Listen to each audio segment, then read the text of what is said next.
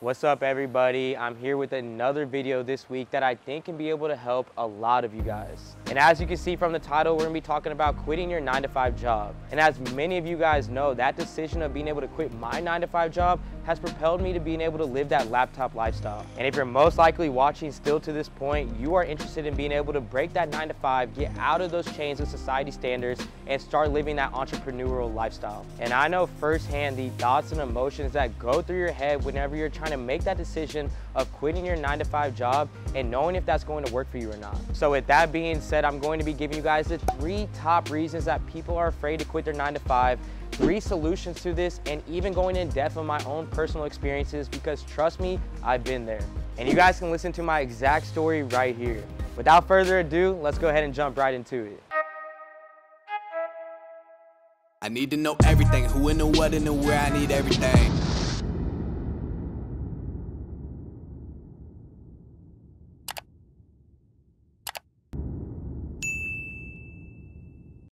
And even though I was able to get out of the nine to five life successfully, I understand the fears that I had whenever I was making this decision. Was it I was going to go work another job that I hated, or I could potentially invest completely in myself and I could fail?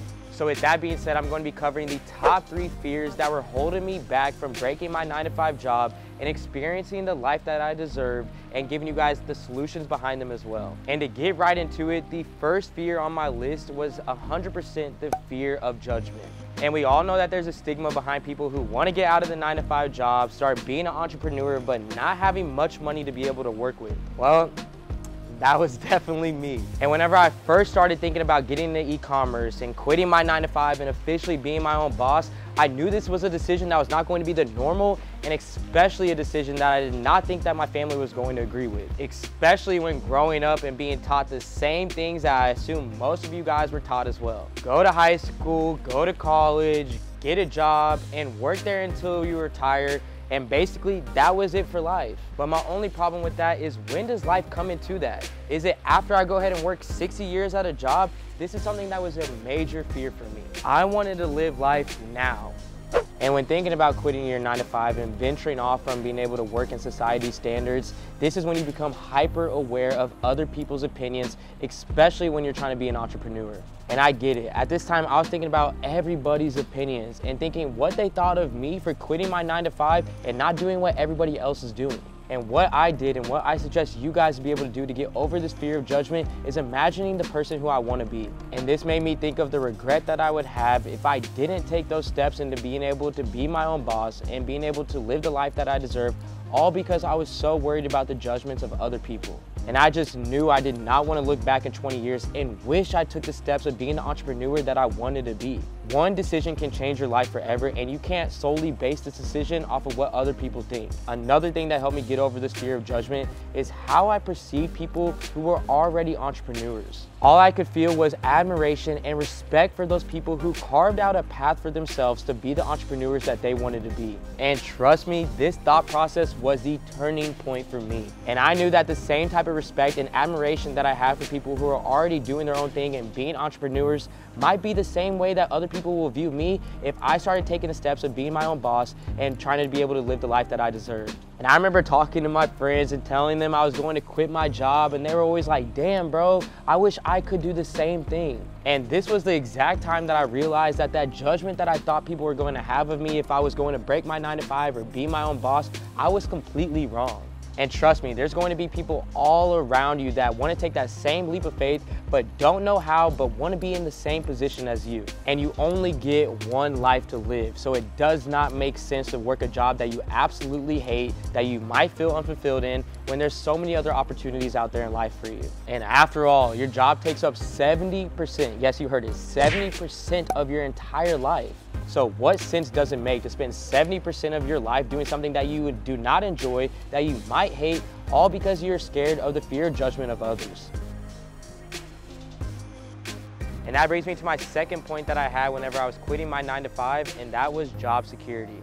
Now, I'm not gonna sit here and tell you that this is not a real fear that most people have, including myself, especially for the people who are on the fence of quitting the nine to five.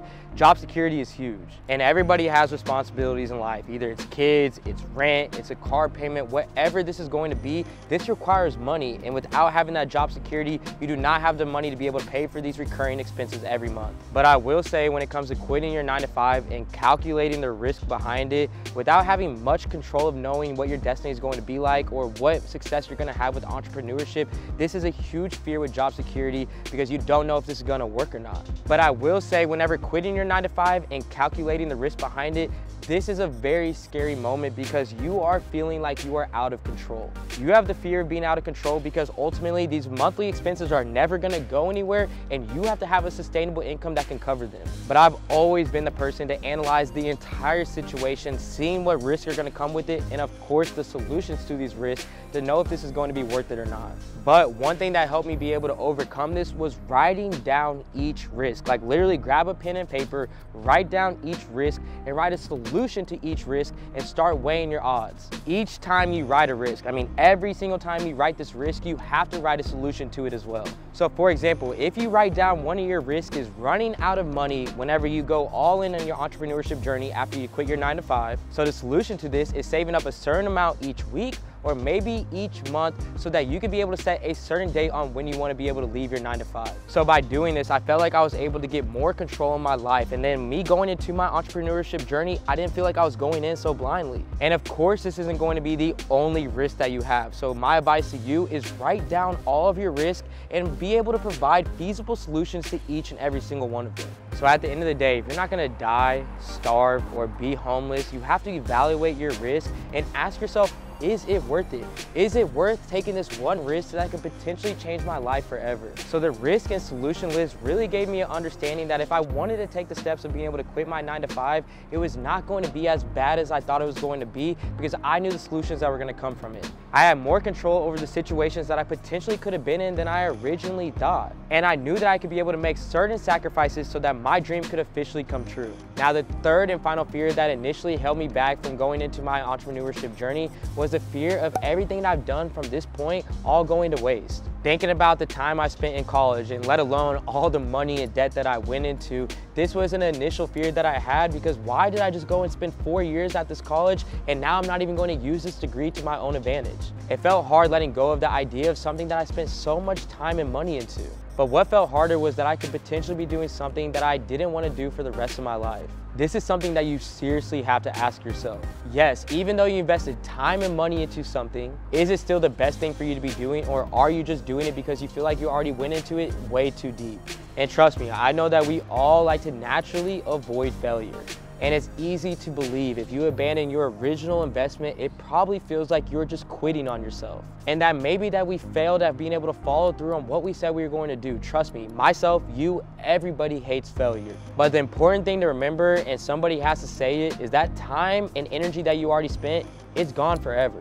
And instead of spending more energy and more time into that job that was running me dry, I put that same effort into myself and start living that life of fulfillment that I was looking for. You can't change the past. The only thing you can do is change the future. And to put it like this, my first year in entrepreneurship, I was able to pay off all of my student loans. And this would have took me years of my nine to five job to be able to do. And again, I was able to accomplish this within the first year. And a quote that I want you guys to take away from this video is the best time to do something was yesterday and the next best time to do something is today. And this quote really stuck out to me because like I was saying, you don't want to look back in however many years and wish you would have did something that you didn't do. And overall, quitting your nine to five can be very intimidating and scary and there's a lot of fears more than just the top three that I mentioned. Trust me, I've been there, I've seen it all, and I know that it's gonna come whenever you take that leap of faith. And I've been able to leave my nine to five, start a successful e-commerce business where I'm helping all of you guys start and scale profitable e-commerce businesses. And I'm officially the person that I craved that I wanted to be when I was working my nine to five job. I understand that if this can happen for me, it can 100% happen for you. Remember, one decision and one risk can change your life forever. And I've now been able to help over 70 plus people quit their nine to five job, run a successful, profitable e-commerce business, and be that boss that they always wanted to be.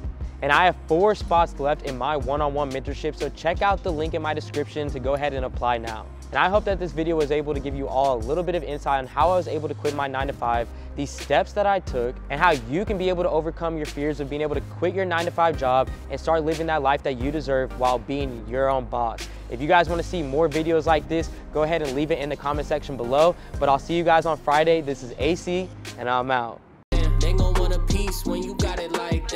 like Jake said, we gon' spend it, get it right back. Stack that internet money to the site crash. They on IG, tryna get a light back. See, they don't talk that talk, they just type fast.